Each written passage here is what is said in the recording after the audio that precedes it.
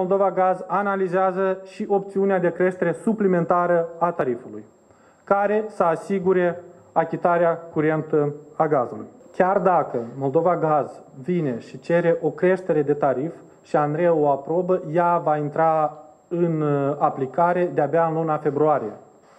Pentru că facturile pentru luna decembrie sunt la tariful vechi. Este nevoie de un pic de mai așteptat, cred că vreo 10 zile și după data de 20 se va decide dacă este nevoie de crescut tariful și doi, dacă este nevoie cu cât.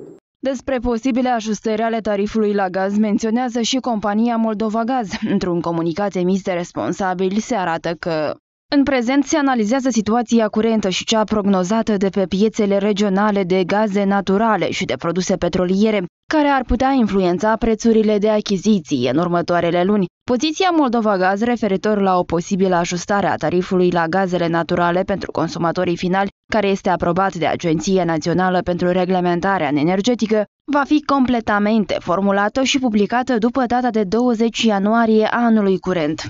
Eventualele majorări de tarif vin în contextul în care, pentru luna ianuarie, Republica Moldova primește gaz de la Gazprom la prețul de 646 de dolari pentru 1000 de metri cubi, cu 200 de dolari mai mult decât în momentul de față. Autoritățile spun că analizează posibilitatea luării unor măsuri suplimentare de susținere a populației. La moment, sunt aceste rezerve de 1 miliard 600 de milioane care încă nu au fost cheltuite, deci noi suntem în etapa în care analizăm dacă uh, creștem aceste compensații ca să le oferim acum, în ianuarie, când avem această uh, creștere.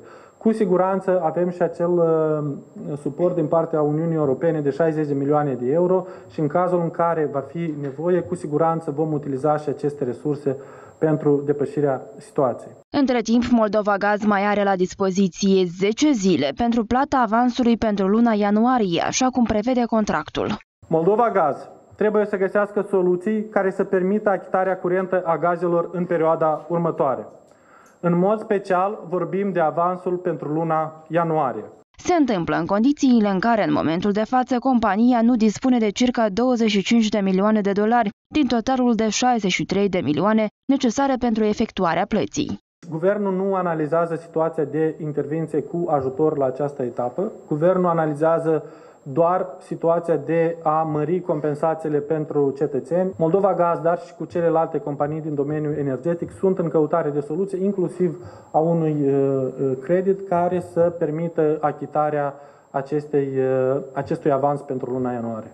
Creditare pe care, potrivit ministrului, compania o caută de la sfârșitul lunii decembrie. O altă soluție ar fi amânarea plății către anumiți furnizori sau tergiversarea plății unor impozite. Ieri am avut o discuție cu domnul Miller în care am încercat să înțelegem care este disponibilitatea pentru a avea o amânare a plății acestui avans pentru, nu știu, 10-20 de zile ca Moldova Gaz să poată să achita acest uh, avans.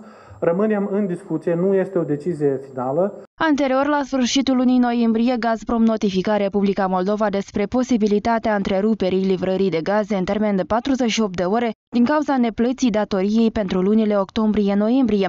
Ulterior, ministrul Andrei Spânu anunța că soluția propusă de guvern este de a încheia un contract de cesionare de către Energocom a unei părți din datoria termoelectrică către Gazprom, astfel încât Energocom să achite datoria cesionară către Moldova Gaz, iar cea din urmă să efectueze plata pentru gaze. În acest scop, Parlamentul a aprobat mai apoi, în lectură finală, rectificările la buget propuse de guvern.